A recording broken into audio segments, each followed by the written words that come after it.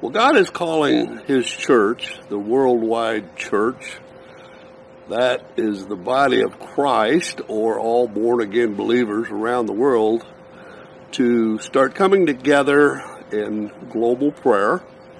You can read about the details below in the description section, but to start out with, he's asking uh, Christian believers to give themselves to prayer and fasting as they're able and the Holy Spirit leads them um, as the army that they are for Jesus Christ. And uh, that's going to start on every Sunday night, 6 p.m., as people are able to give themselves to it, and it'll go as long as the Holy Spirit uh, would lead them to pray.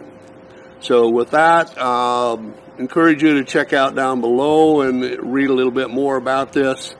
Uh, God bless you.